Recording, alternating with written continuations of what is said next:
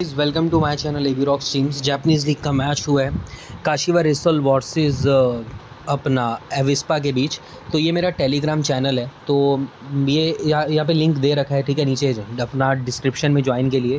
कि रात की एक आधी टीम ओपन आएगी so don't miss any upcoming update मैंने कल भी ओपन दी थी। और अब बात करते हैं इस मैच की। तो भाई, मेरा पहला जो आपको चीज़ जो मैं आपको बोल रहा हूँ तो जिन लोगों ने ऑस्ट्रेलियन लीग का मैच खेला है, वो ये वाला मैच मत खेलें। ए लीग की टीम बनाने में फ़र्क आता है जापान लीग में फ़र्क आता है, तभी मैं जापान लीग को अवॉइड करता हूँ। लेकिन अब क्या था? कि ये मैच की टाइमिंग थी साढ़े ग्यारह, और मुझे साफ़ दिख रहा था कि ये बहुत लोग खेलने वाले हैं। जो जिस बंदे ने मेरी वीडियो पहले देख ली है तो मेरी मेरी दरख्वास्त है आपसे भाई कि आप इस ये मैच अवॉइड कर दो, मत खेलो इन्वेस्ट ही मत करो। ये बहुत रिस्की मैच है, लेकिन जो लोग इन्वेस्ट कर चुके हैं, ये टीम मैं उनके लिए, ये वीडियो मैं उनके लिए बना रहा हूँ। तो आगे चलते हैं। टीम मैं बना चुका हूँ वैसे दूसरी आईडी में बट यहाँ पर एक्सप्लेनेशन देनी होती है, इसलिए आपके सामने रिक्रिएट करनी पड़ती है दूसरी आईडी पे। तो अब यहाँ पर बात करें तो हसोया एम हसोया, जो कि प्रीवियस ट्वेंटी एट सेप्टेम्बर नहीं खेला था बट उसके बाद इसकी वापसी हो गई थी, क्योंकि सितंबर के बाद ऐसा तो नहीं कि जापान लीग के मैच नहीं हुए। अरे, हर हफ़्ते में कितनी बार होते हैं, ठीक है? तो हसोया इज़ मेन प्लेयर उसके बाद ऑपोजिशन टीम का इनका एक प्लेयर है वेलिंगटन वेलिंगटन लुइस को बहुत देर से हम अवॉइड कर रहे हैं। चल भाई, आज नहीं लूँगा, आज भी नहीं लूँगा। तो मतलब इतना टाइम हो गया कि मैंने इस प्लेयर को आई थिंक एक आध मैच में भी ट्राई नहीं किया होगा। और अगर मेरे को ट्राई करना भी पड़े तो मैं ये सोचूँगा कि शायद अगर जहीदी खेलता तो मैं लेता। अब जब जहीदी जो इंजर्ड हुआ था, अभी तक इसका इंजरी का पता नहीं कि वापसी करेगा कि नहीं। इसलिए उसकी जगह पर वेलिंगटन लेना इज़ नॉट गुड ये रिप्लेस नहीं करते एक दूसरे को। इनका खेलने का तरीका बहुत अलग है। इसलिए मैं विलिंगटन के साथ नहीं जाऊँगा। इसलिए अगर आपने किसी को लेना है तो आप अपोजिशन टीम के किनोशिता को ले सकते हो।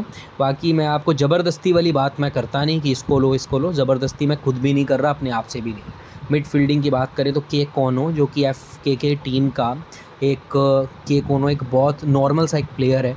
ठीक है, जैसे कि आपने आगे से स्ट्राइकर छोड़ा है तो ज़ाहिर सी बात है मिडफील्डर बढ़ाओगे। दो प्लेयर तो आपके पक्के हैं, एक एच मए और एक कोनो और तीसरा प्लेयर जो है दैट वॉज़ एच अपना डी मत्सुका अगर मत्सुका खेलता है तो मैं ज़रूर लूँगा। अगर नहीं खेलता तो इसकी जगह पे जो खेलेगा, उसको लूँगा, क्योंकि मेरे को फॉर्मेशन वाली टीम बनानी है सिंगल फॉर्मेशन की टीम है मिडफील्डिंग के सीधा सीधा जितने भी फॉर्मेट में जो प्लेयर खेल रहे होंगे, वो सारे पिक करने हैं, एक फॉर्मेट में जो होंगे, भले वो मत्सुका हो या नीचे से कोई हो।